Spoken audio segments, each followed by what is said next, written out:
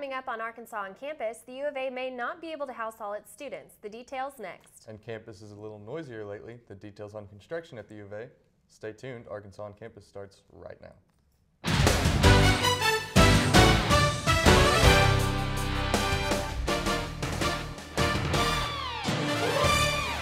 Welcome to this edition of Arkansas on campus. I'm Laurel Talley. And I'm Connor McGinnis. Thank you for joining us. With the university accepting more and more students every year, student overflow is a big problem, especially for university housing. The university has 22 dorms on campus right now, with two new ones added just this year. But with an increasing number of students, there is still not enough dorm space on campus. While most new students moved into their dorm rooms the week before school started, others were put in study rooms because of an unexpected spike in enrollment. About 70 students signed a housing contract late, giving university housing no time to assign them an open room. It could have been anywhere from June in through August. So they weren't able to participate in the online room selection and they didn't have a permanent space when they came. Florence Johnson of University Housing says these students were living in study halls for up to five weeks. Although these weren't the same as the dorm rooms, freshman Kiefer Levity says their living area in Humphrey Hall was not much different. It didn't actually seem that bad though, because they're kind of centrally located, so they could easily get to the elevator and stuff, and they had a lot of privacy still, so it didn't seem like it was the worst thing. The University of Arkansas has 22 dorms on campus right now. With enrollment continuing to grow each year, the university plans to add two more dorms to fix this overload problem. We've identified a location south of Pomfret where we would potentially build two more residence halls for approximately 630 beds. More and more students are wanting to live on campus, even as they get older, and Levity says he highly recommends it. It's great living on campus, especially in Humphreys, because you're just so much closer to everything. But on campus is great because I don't want to have to commute to here every day and add that into my schedule. University Housing says they will work closely with admissions and enrollment management to be sure they're better prepared for more students each year. Reporting for UATV, I'm Kelly Rilliard. University Housing has moved all students out of study rooms and into their permanent dorms. Reporting for UATV, I'm Kelly Rilliard. University Housing says it will be at least two years until the new dorms are built and ready to go. University of Arkansas nursing students are getting realistic experience with everything from taking a patient's vital signs to delivering a baby. UATV's Mary Kate Powers has the story. Yes, Connor, some updates in the nursing simulation lab have students working with real life situations. From new computer systems to a special new kind of equipment, nursing students will be more prepared for the job from now on. Nursing students are using a new form of teaching technology that's the closest thing to real life with mannequins. It's a part of a new lab. Senior Elaine Hale says the lab also films the students, giving her and her classmates the opportunity to critique each other on their nursing skills. In the sim lab, you are doing hands on care, you're doing actual assessments, you give medications. Um, there's a medication machine we get to practice using. You are able to do actual documentation on a computer. The mannequins are all programmed to act as human patients would. They can blink, pulsate, and breathe. The newest mannequin is even able to birth an artificial child, which is an experience nursing students would not normally get to practice in a hospital. Some of the things that nursing students have to learn to do is not really safe for them to do that on real patients.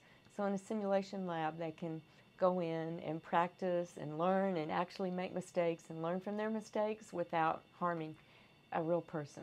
Clinical instructor Susan Patton was in charge of setting up the simulation lab. Patton says the first nursing simulation took place in the military during World War II, and it has become more common among nursing schools since then. In nursing, you are having to work with a variety of different people, and so the lab allows you to get to experience people of all ages, um, all cultures, and it's just overall really, really great. Hale says the University of Arkansas Nursing School stuck out to her because of its new building and state of the art equipment. She says she will be more prepared for what the future will bring because she is getting real practice right here in the simulation lab. For UATV, I'm Mary Kate Powers. Nursing students here at the U of A are excited for the future and to enter the field with more experience than ever before. Back to you guys. Technology is up and running in the medical profession, and simulation is at the front of the race. At the University of Arkansas, an innovative program is giving some students a chance to pursue education as a career path. UATV's Andela Hines tells us more. UA Teach is a program where students can graduate with a teaching certificate in addition to their degree. I was able to go to one of the classes and speak to those who were involved. In a small house off Duncan Street, a network of past, present, and future teachers are making their mark on education. We can put the word problem down here. Behind its doors, U of A students are learning how to become teachers. Um, I'm working on my second lesson right now. It involves whether seeds give off carbon dioxide. JC Seitz is a freshman going through the UA Teach program. The program allows students majoring in science, technology, and math to pursue a teaching certification while they work on their degree. I'm in all the classes I need to be a biology pre-med student, but I'm also getting to come here and learn about teaching. Students like Seitz are paired with mentor teachers who they get to shadow. They're still getting their BS in biology or a BS in math or physics or whatever, but they're also taking, we have eight courses in our program. The model is um, you have one degree when you graduate, but two options. You can go be a chemist or a physicist, or you're licensed to teach high school. Brian Hill, the director of the program, says that not only are they educating the U of A students, but also the mentor teachers whose classrooms the students teach lessons in. You want to make sure they're trained the best they can be, and that is through inquiry based lessons. So let's not give a student in a math class a worksheet. That's no fun. Let's give them a project to do. It's very fulfilling to see kids grasp things and grow and know that you're a part of that. The UA Teach program graduated its first three teachers this past May, and Hill sees the program growing and changing education. Just didn't, it wasn't Reporting for UATV, I'm Andela Hines. Programs like UA Teach are also in place at the University of Central Arkansas and the University of Arkansas at Little Rock. Back to you guys. For more information, students can visit teach.uark.edu. The 1964 national championship team is being honored at this at the football game this weekend, and the, there there will be a musical tribute played for them at halftime. UATV's Kane Zeno has more on the story. The Razorback Marching Band has been planning this show since last spring, and they say that this performance is a special one. The University of Arkansas is honoring the 1964 National Championship football team, and the Razorback Marching Band is joining in. They're experimenting with new visual styles to add to the celebration. Moving pictures that, that people could really grasp onto and appreciate. We'll make a, a big guitar at one point. We'll recreate the Abbey Road album cover. Graduate student Chase Jones has been in charge of writing drill and says that it has been a long work in progress. I started writing the drill after the spring semester ended and worked on it all the way up till the first couple of weeks weeks of August. So it was, it was a long process, but a, a rewarding one. The band was working independently, but soon joined forces with the athletic department to make this the theme of the game. We told them our idea as far as how we wanted to uh, honor the team, and they were on board with everything that we wanted to do um, as part of this halftime show. So, no, it's been great. The university is even bringing in the 1964 team for recognition, including famed head coach Frank Broyles. He's going to bring out the national championship trophy and uh, be presented on the, on the front sideline at the end of the show. The R&B is glad to be an integral part of this championship celebration and is aiming to continue working with the athletic department for future games. For UATV, I'm Kane Zeno.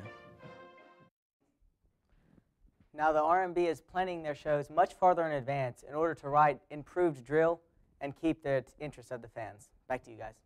The band's next halftime performance is November 8th at the Arkansas LSU game. As international student enrollment rates skyrocket, so does the need for iFriends. Robin Danecki joins us now with more. Yes, I got the opportunity to visit the International Student and Scholars Office and visit with some participants in the iFriend program. Take a look. iFriend is a program set up by the International Student Scholarship Office. To keep up with the rapidly increasing rate of international and foreign exchange students, ISS is spreading the word about its peer matching programs, especially iFriend. These are programs, they are not homestays. They're just a chance to visit socially and uh, have a friendship with an international student or scholar. um, here on campus to share cultures, uh, to enjoy activities, and have fun. Hosts can be anyone in the community. For Chenwei and her host match, Cynthia, it was all about family and culture. The two have been a friendship family for five years now, sharing experiences. And I've been invited to join Cynthia to the church service for Thanksgiving, and I had my first trick or treat experience with Cynthia um, um, kids, and we've been visit, visiting their schools with Cynthia, school concerts, and picnic, camping trips, so many memorable things. Chenwei says her parents were lifted when they found out Cynthia was taking such sweet care of their daughter. Campus cousin Joy Benz gives advice to anyone who is interested. You really do form long-lasting relationships. You uh, learn more about just what's in your own little box and uh, learn and grow and make awesome friends. Reporting for UATV, I'm Robin Danicki. Chenwei emailed me shortly after our interview to remind me of what an incredible experience this has been for her and her family and how she hopes all of you interested will get involved. Back to you.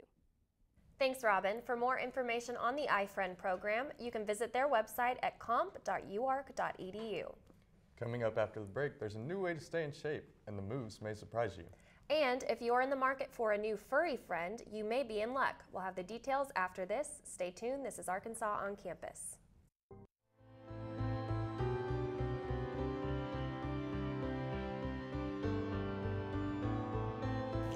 Hi, Chow Mein.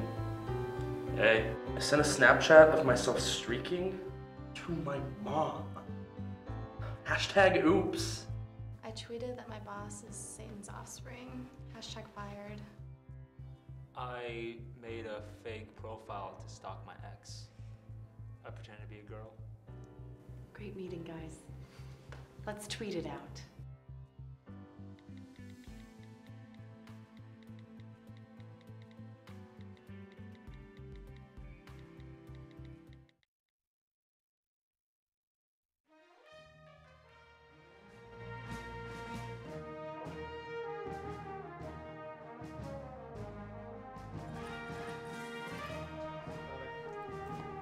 Nation's top cross-country races happens in Fayetteville every fall, and UATV's Jackson Braswell will tell us why the race is a big benefit for Northwest Arkansas high schools. Thanks, Connor. It was a beautiful day in Northwest Arkansas as teams from all over the country came out in full force to participate. Starting guns firing, feet hitting the ground, and a sharp fall breeze. That is the sound of a promising future for local high school cross country programs. Couldn't ask for a better day for fall weather in Arkansas, and we're expecting over 5,400 runners. Those expectations were met in a huge way as runners from all over the country lined up to take part in the 26th annual Chili Pepper Festival race. And the benefits were great for local high schoolers. The function of this group is to keep kids running. It's a great atmosphere, and so we want to encourage that. And a lot of schools don't have the money for uniforms. Some kids don't have money for shoes, so we give money back to the schools. The idea for the festival was started by former Fayetteville cross country coach Kelly O'Meara and local business owner Joe Fennell on one of their many runs. They were running and O'Meara says, yeah, my budget for cross country is 100 bucks. And that's not going to work. The festival has contributed more than $360,000 to Northwest Arkansas cross country program since its beginning and gave around 45,000 to the schools this year. The Chili Pepper Festival has become the lifeblood of the cross-country programs in the whole area. And uh, we, we are able to get so many more kids involved in running, a lifelong activity that I think is very important. Uh, and we would not be able to do that without the funds that come directly from this race. Money from the race was split between over a dozen schools in northwest Arkansas, and one thing sticks out to most everyone who participated. Nobody does it like the Chili Pepper does. Reporting for UATV, I'm Jackson Braswell.